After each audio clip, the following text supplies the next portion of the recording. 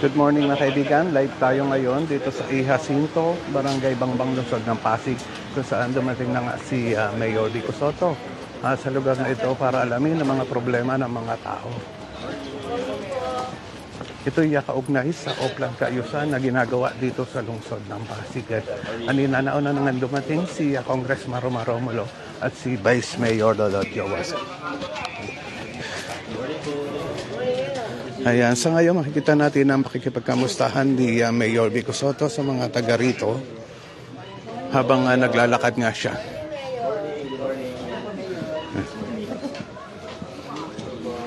Morning po. Ang kaibigan, ito yung nakauna-unahan na Oplan Kaayusan na ginawa ngayon na taon na ito, ah, 2024. Kanina nakita na nga natin yung mga iba pang mga ginagawa ng ah, engineering team ah, dito sa lungsod ng Pasig ay yung ah, paglilinis nga ng mga drainage at ah, pinipinturahan yung mga yung mga pader. Nakita ko na rin yung mga representative ng ah, Meralco dito na inaayos nga yun na kable ng ah, kuryente. Yan. So ayan, nagka, nakita na si ah, Mayor Vico Soto, Vice Mayor Dodot Jaworski at si Congressman Roma Romulo.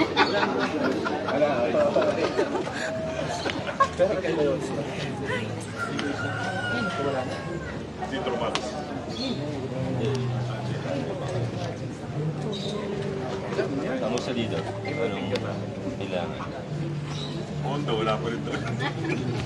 Ayan na mga kaibigan ngayon na alam na nga ni ah, Mayor Vico Soto ang mga dapat ayusin dito sa lugar ng ah, barang- Barangay Bangbang, partikular dito sa Ihacinto Street.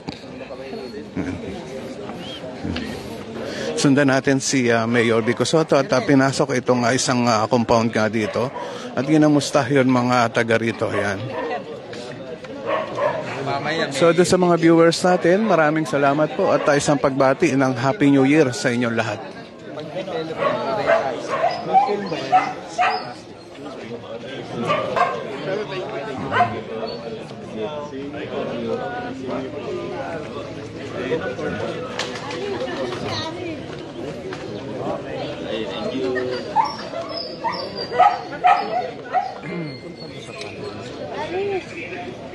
Na ano nila ba?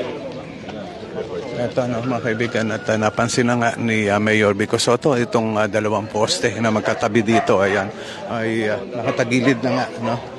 Uh, na, sigurado yun uh, problema niya ay uh, isa sa ayos. Dahil nandito naman ng uh, representative ng uh, Meralco, nakita natin kanina, uh, kausap ni Mayor Vico Soto yun ang mga taga rito ngayon uh, para alamin talaga at uh, personal na makita yun mga problema dito sa uh, Barangay Bangbang, particular dito sa Ihacinto Street. Kay RJ uh, Pulgar, Happy New Year po sa inyong lahat yon. Happy New Year din sa buong pamilya mo, RJ uh, Pulgar. Saka mas.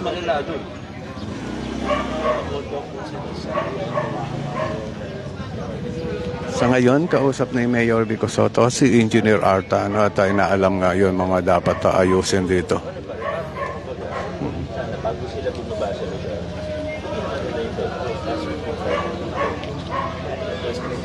Wala ba si ano sa Diyan po.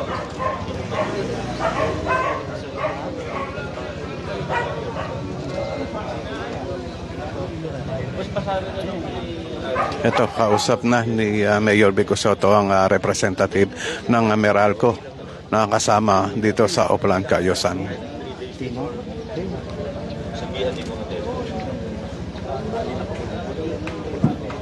Sabi-sabi. Pero okay lang ituloy.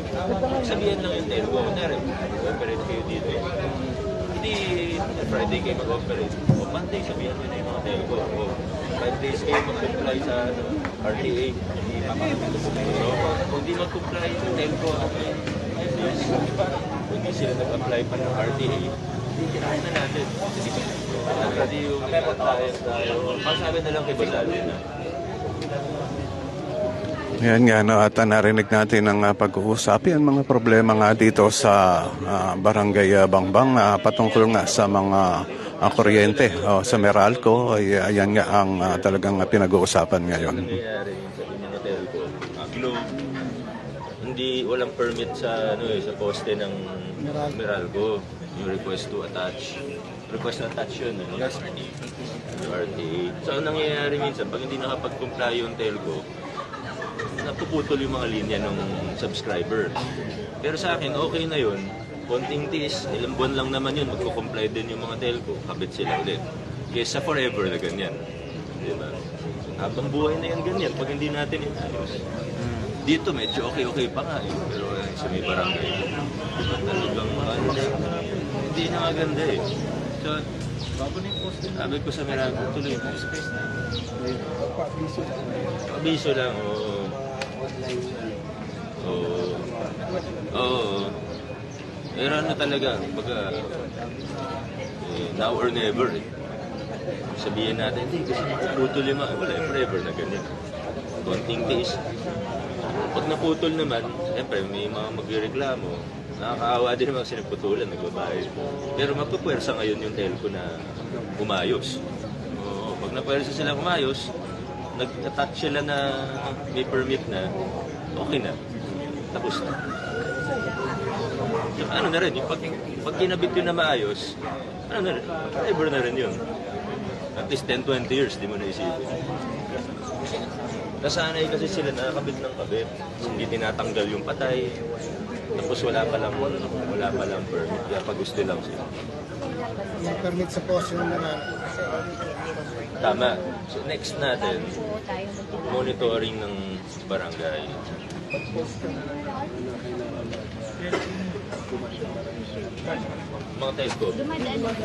Ayan na mga kaibigan natin narinig natin ang uh, isa rin sa mga problema pala dito sa Barangay Bangbang ano yun na ah, tungkol nga doon sa mga internet uh, line no? Yun nakabling nga ng uh, internet ay uh, wala pa lang mga permit sa poste ng uh, Meralco na ikinakapit uh, dito sa lugar na ito. Kaya ang nangyayari ay uh, humisan na natatanggal na lang ng uh, uh, Meralco dahil uh, wala naman permit at yung mga deadware naman ay uh, kanilang uh, mga ah, hindi na tinatanggal. Yung pang uh, representative ng uh, Meralco ang uh, mga nagtatanggal ng uh, kable. At uh, hindi isinasaayos sa mga paglalain o paglilinya. Kaya andito ang uh, mga taga rito sa bang, barangay uh, Bangbang particular dito sa uh, Jacinto Street at dinudulog nga kay uh, Mayor Vico Soto ayan Kay uh, Cassandra, good morning po, Mayor Vico Soto. Ganon din sa iyo, Cassandra Concepcion, Celso uh, Maleon, Maleon, yun, watching from Canada. Good morning po. Happy New Year po sa lahat ng mga viewer natin. Ayan, hanggang sa ngayon, kausapan ni Mayor Vico Soto, si Engineer Arta, uh, kaugnay nga para sa kaugnay dito sa mga sa oplang kayusan na dapat ayusin uh, dito sa lugar.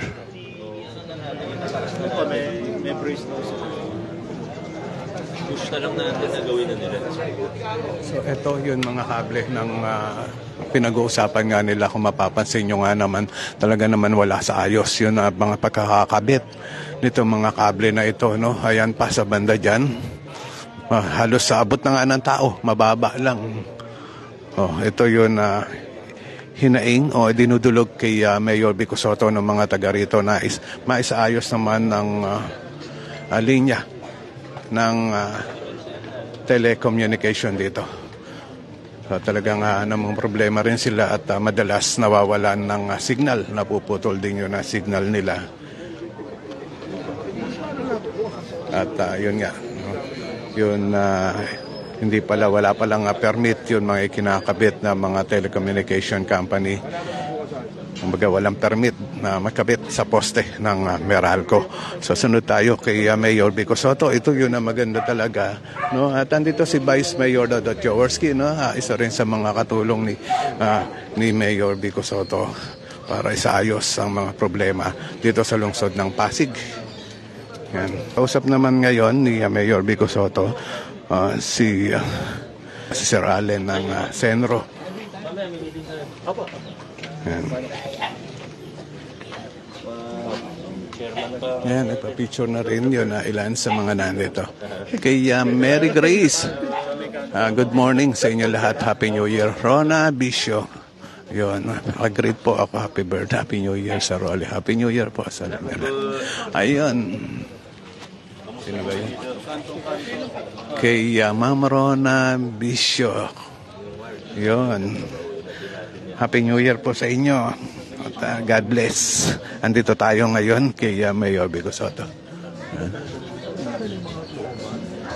Angel Blossom, pa-shout out po. Ayan, shout out Angel Blossom. Mary Grace, ah, good morning. Ayan, no? Sunod pa rin tayo kay Mayor Bico Soto. So, ito yung mga drainage, ano? At ito yung natagos yan doon sa sa ilog na tumatagos yan eh. Yan na drainage na yan. Yan ngayon ang ah, sinasayos ng ah, engineering department. Talagang ah, ito yun na maganda sa mga ginagawa nila eh.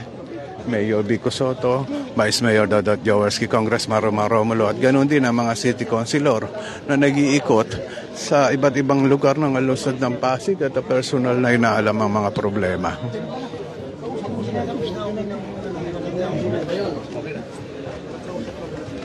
Mamaya na, ako pala dyan.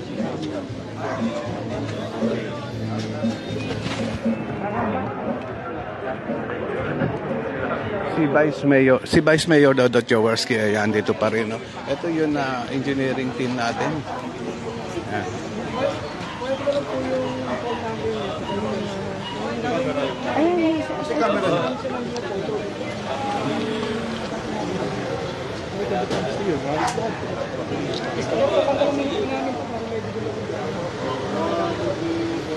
Kay Cynthia Tamay watching from Japan. Good morning po, Mayor Vico Soto. At sa iyo rin, Sir Rolly, Happy New Year po. Ganon din po sa inyo, Ma'am Cynthia Tamay. Ano, Happy New Year po sa inyo. Good morning. uh, God bless sa buong pamilya. Hmm. Ayan na. Medyo sumisikip na. Ito si uh, Mayor Vico Soto. At hanggang sa ngayon, tuloy-tuloy ang pakikipagkamustahan sa mga taga rito. At si uh, Vice Mayor Dodot Jaworski.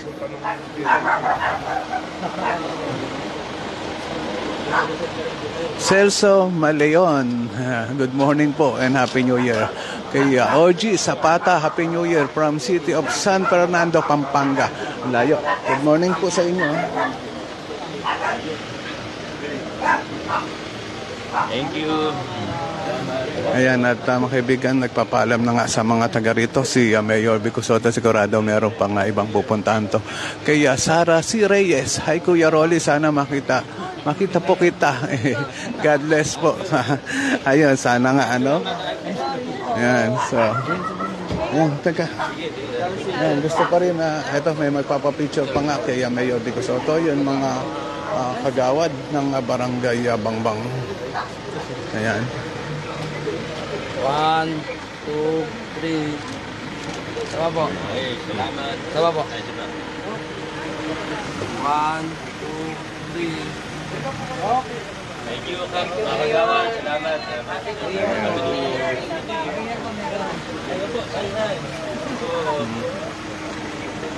Ayan po. Ay, sorry. Ayan po. Thank you po.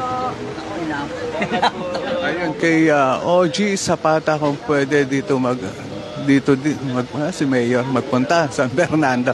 Oo nga eh, kung makakapunta lang dyan, no?